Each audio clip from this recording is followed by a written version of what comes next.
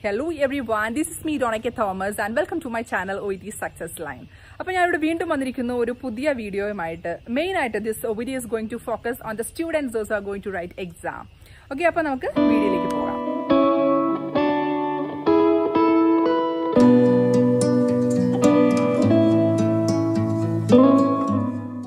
Okay അപ്പോൾ ഞാൻ ഇപ്പോൾ ഒ ടി എക്സാമിന് വേണ്ടി പ്രിപ്പയർ ചെയ്യുന്ന എല്ലാ സ്റ്റുഡൻസിനും വേണ്ടിയിട്ടാണ് ഈ വീഡിയോ ചെയ്യുന്നത്. മെയിൻ ആയിട്ട് നമുക്ക് റൈറ്റിംഗ് മൊഡ്യൂളിൽ കുറച്ച് ടിപ്സ് ഒക്കെ. ഇപ്പം റീസെന്റ് ആയിട്ട് ട്വന്റി സെവൻത്തിന് എക്സാം നടന്നിട്ടുണ്ടായിരുന്നു. ഈ ട്വന്റി സെവൻത്തിന്റെ ക്വസ്റ്റ്യനും കൂടെ ഒന്ന് എടുത്തിട്ടാണ് ഞാൻ ഈ ഒരു വീഡിയോ ചെയ്യാൻ പോകുന്നത്. മെയിനായിട്ട് ഈ ലെവൻത്തിന് ആരൊക്കെയാണോ എക്സാം എഴുതാൻ പോകുന്നത് അവരൊന്ന് ശ്രദ്ധിക്കുക. അതുപോലെ തന്നെ അതിനുശേഷം എക്സാമിന് പ്രിപ്പയർ ചെയ്യുന്ന അതിനുശേഷം ട്വന്റി ഫിഫ്ത്ത് ഓഗസ്റ്റിലൊക്കെ ഡേറ്റ് വരുന്നുണ്ട്.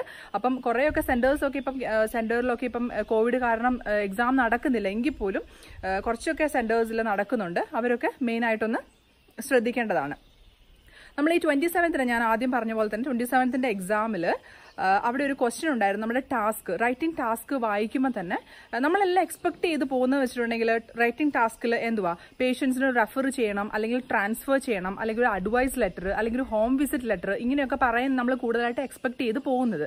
പക്ഷേ ഈ ഒരു ട്വന്റി സെവൻത്തിന്റെ ക്വസ്റ്റ്യനിൽ നമ്മൾ വന്നിരിക്കുന്നത് outline the history of so and so എന്ന് ചോദിച്ചിട്ടായിരുന്നു. ഔട്ട്ലൈൻ ദ ഹിസ്റ്ററി ചിലപ്പോൾ നമുക്ക് ഇങ്ങനെയും വരാം. Introduce about Mrs so and so എന്നൊക്കെ. നമ്മൾ അപ്പോഴും എപ്പോഴും എക്സ്പെക്ട് ചെയ്യല്ലോ? നമ്മൾ റെഫർ ലെറ്റർ വരും അഡ്വൈസ് ലെറ്റർ വരുന്നു. സംവാട്ട് ഇതൊരു റെഫർ ലെറ്റർ പോലെ ആയിരിക്കും. പക്ഷേ the purpose of this letter is to refer എന്ന് നമുക്ക് അവിടെ എഴുതാൻ പറ്റത്തില്ല. ഔട്ട്ലൈൻ എന്ന് പറയുവാണെങ്കിൽ the purpose of this letter is to outline the history എന്ന് തന്നെ നമുക്ക് അവിടെ പറയേണ്ടി വരും. ഇൻട്രൊഡ്യൂസ് എന്ന് പറയുവാണെങ്കിൽ ആ ഇൻട്രൊഡ്യൂസ് എന്നുള്ള രീതിയിൽ തന്നെ നമുക്ക് പറയേണ്ടി വരും. നമ്മൾ എക്സാം എഴുതുന്നവർ പ്രധാനമായിട്ട് ഇതൊന്ന് കോൺസെൻട്രേറ്റ് ചെയ്യേണ്ടതാണ്. നിങ്ങൾ എപ്പോഴും എക്സാം എഴുതുമ്പോൾ മെയിൻ ആയിട്ട് ഔട്ട്ലൈനോ ഇൻട്രൊഡ്യൂസിനോ അങ്ങനെയൊക്കെ വന്നിട്ടുണ്ടെങ്കിൽ ചുമ്മാ അങ്ങ് കയറി റെഫറൻസ് ട്രാൻസ്ഫർ എന്നൊന്നും എഴുതാതിരിക്കുക. അവിടെ ഏതാണോ വേർഡ് തന്നിരിക്കുന്നത്. അത് സെയിം ആസ് ഇറ്റ് ഈസ് നിങ്ങൾക്ക് അവിടെ യൂസ് ചെയ്യാവുന്നതാണ്. ഓക്കെ ഓക്കെ അപ്പോൾ നമുക്ക് ടോട്ടൽ ആയിട്ട് ഒരു ഫോർട്ടി ഫൈവ് മിനിറ്റ്സ് ആണ് നമ്മുടെ ലെറ്റർ എഴുതാൻ വേണ്ടിയിട്ട് കിട്ടുന്ന ടൈം അതിലൊരു സ്റ്റാർട്ടിംഗ് ഫൈവ് മിനിറ്റ്സ് നമുക്ക് റീഡിങ്ങിന് വേണ്ടി മാത്രം മാറ്റി വെക്കേണ്ടതായിട്ട് വരുന്നുണ്ട്. അതിൽ സാധാരണയായിട്ട് കണ്ടുവരുന്നത് സ്റ്റുഡൻസിന്റെ ഒക്കെ ഒരു പ്രശ്നമാണ് നമ്മൾ യു ആർ ടൈം സ്റ്റാർട്ട് നാവും എന്ന് അവർ പറയുമ്പോഴത്തേനും കറക്റ്റ് ഫൈവ് മിനിറ്റ്സ് കഴിഞ്ഞിട്ട് അവർ പറയും നിങ്ങൾക്ക് ഇപ്പം സ്റ്റാർട്ട് ചെയ്യും. നിങ്ങളുടെ ലെറ്റർ റൈറ്റിംഗ് ഇപ്പം സ്റ്റാർട്ട് ചെയ്യാന്ന്. ആ പറയുമ്പോൾ തന്നെ നമ്മുടെ ഒരു ഗ്രൂപ്പ് ഓഫ് പീപ്പിൾ ആയിരിക്കും നമ്മുടെ ഒരു സെന്ററിൽ ഇരിക്കുന്നത്. അവരെല്ലാവരും ഇപ്പം വലിയ ശബ്ദമൊന്നും ഉണ്ടാവില്ല എങ്കിൽ പോലും എല്ലാവരും തുടങ്ങും. അങ്ങ് സ്റ്റാർട്ട് ചെയ്യുന്നത് ഉള്ള കുറച്ച് സൗണ്ടൊക്കെ നമുക്ക് അവിടുന്ന് ഇവിടുന്നൊക്കെ കേൾക്കാം. ആ ഒരു സ്റ്റാർട്ടിങ് ചെയ്യുമ്പോൾ തന്നെ നമുക്കും കൂടി അതിന്റെ ഒരു ആങ്സൈറ്റി ഉണ്ടാവും. എല്ലാവരും സ്റ്റാർട്ട് ചെയ്തു അപ്പം ഞാനും സ്റ്റാർട്ട് ചെയ്യണമെന്ന് ദയവ് ചെയ്ത് അങ്ങനെ സ്റ്റാർട്ട് ചെയ്യാതിരിക്കുക. ഒരു ഫൈവ് മിനിറ്റ്സ് അല്ല ഒരു ടോട്ടൽ ടെൻ മിനിറ്റ്സ് എങ്കിലും നിങ്ങൾ അതിനുവേണ്ടി യൂസ് ചെയ്യുക. ടെൻ മിനിറ്റ്സ് പോയിട്ടുണ്ടെങ്കിലും അത് നിങ്ങൾക്ക് വലിയൊരു ലോസ് അല്ല. കാരണം നിങ്ങൾ ഒരു ലെറ്റർ എഴുതി എഴുതി വരുമ്പം നെക്സ്റ്റ് ഒരു ഹാഫ് വേ ആവുമ്പോഴാണ് നിങ്ങൾക്ക് പിന്നെ അത് മനസ്സിലാവുന്നത് ഈ വേയിൽ വേയിലല്ലായിരുന്നു ഞാൻ എഴുതണ്ടേ. ദിസ് ഈസ് സംതിങ് റോങ് അങ്ങനെ നമുക്കത് മനസ്സിലാവുകയാണെങ്കിൽ പിന്നെയും ഒന്നും ഒന്ന് അത് റേസ് ഇറേസ് ചെയ്തിട്ട് നമുക്ക് മുമ്പിലേക്ക് വീണ്ടും വരാൻ പറ്റത്തില്ല. അപ്പോൾ അതുകൊണ്ടാണ് മെയിനായിട്ട് പറയുന്നത് നിങ്ങൾ വായിച്ച് നല്ലപോലെ മനസ്സിലാക്കണം. ഫൈവ് ടൈംസിലല്ല അറ്റ്ലീസ്റ്റ് ഒരു എയ്റ്റ് ടു ടെൻ മിനിറ്റ്സ് എങ്കിലും നിങ്ങൾക്ക് എടുക്കാം. ടോട്ടൽ ഒരു ട്വന്റി ഫൈവ് തേർട്ടി മിനിറ്റ്സ് മതി നിങ്ങൾക്ക് ലെറ്റർ എഴുതാൻ വേണ്ടിയിട്ട്. ശരിക്കും പറഞ്ഞിട്ടുണ്ടെങ്കിൽ അവരൊരു one eighty one ninety words ഉള്ള ഒരു ലെറ്റർ മാത്രമേ നമുക്ക് തരുന്നുള്ളൂ. നമ്മൾ എപ്പോഴും പ്രാക്ടീസ് സെഷനിലൊക്കെ ഒരുപാട് ലെറ്റേഴ്സ് ഒക്കെ എഴുതുമ്പോൾ നമുക്ക് ചിലപ്പോൾ forty five minutes fifty minutes one hour ഒക്കെ എടുക്കുന്നുണ്ട്. പക്ഷെ അങ്ങനെ ഒരു വൺ അവർ എഴുതാനുള്ള കാര്യങ്ങളൊന്നും നിങ്ങൾക്ക് അവിടെ നമ്മുടെ ശരിക്കും നമ്മുടെ ഒ ടി എക്സാം സെന്ററിൽ പോകുമ്പോൾ നമുക്ക് അത് കിട്ടുന്നില്ല. അത് നമ്മൾ തന്നെ വളച്ചൊടിച്ച് കൂടുതൽ ടൈം അതിനെ കൊണ്ടുപോവാണ് ചെയ്യുന്നത്.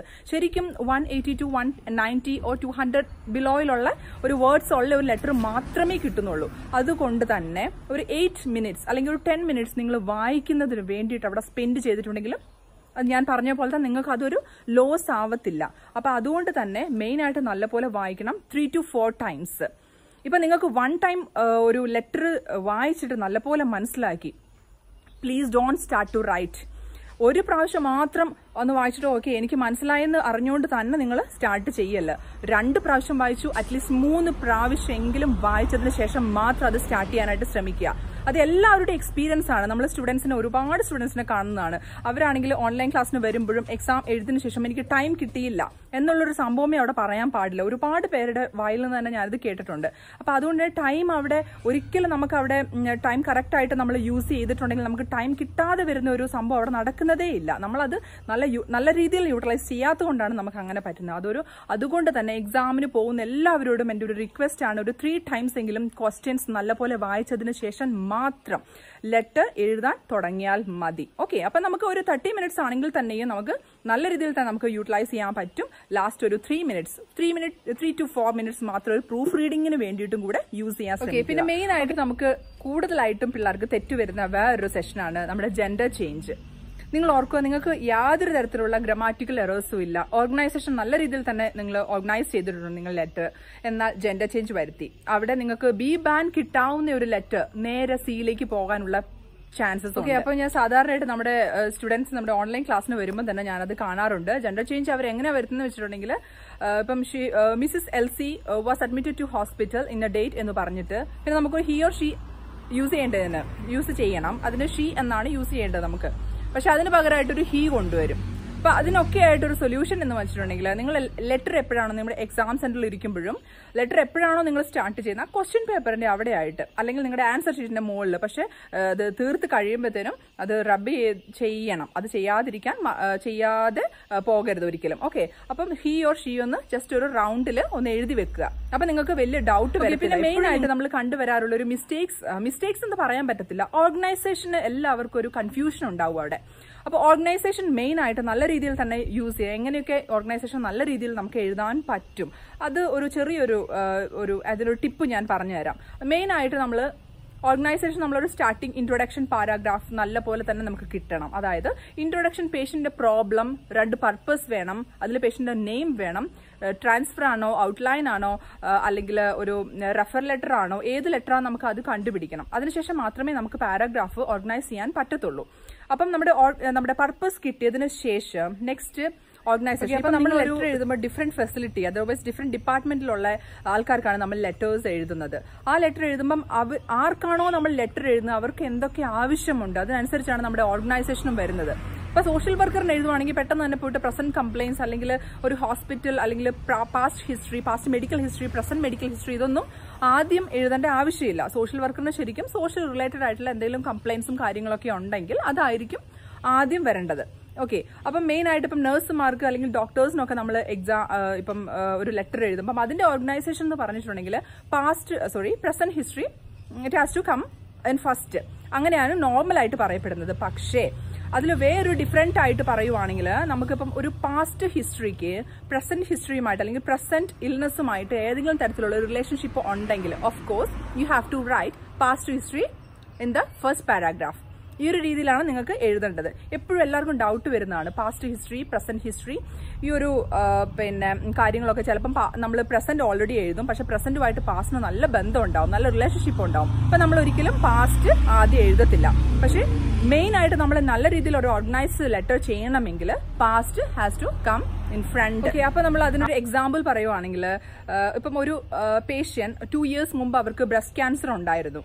ടു ഇയേഴ്സ് കഴിഞ്ഞ് അവർ വീണ്ടും ഹോസ്പിറ്റലിൽ എന്തെങ്കിലും ചിലപ്പം കുറച്ച് ലങ് ഡിസീസോ അല്ലെങ്കിൽ സോറി എന്തെങ്കിലും ഡിസ്നിയ അങ്ങനെ എന്തെങ്കിലും സിംറ്റം ആയിട്ട് വീണ്ടും തിരിച്ചു വന്നു. അതിൽ ടെസ്റ്റ് നമ്മൾ ചെയ്തപ്പോൾ ആ പേഷ്യന്റിന് വീണ്ടും ഒരു എന്താ മെറ്റാസാസിസ് ഓഫ് ക്യാൻസർ ഈ ക്യാൻസർ ഓൾറെഡി സ്പ്രെഡ് ഔട്ട് ആയി നമ്മൾ കണ്ടു.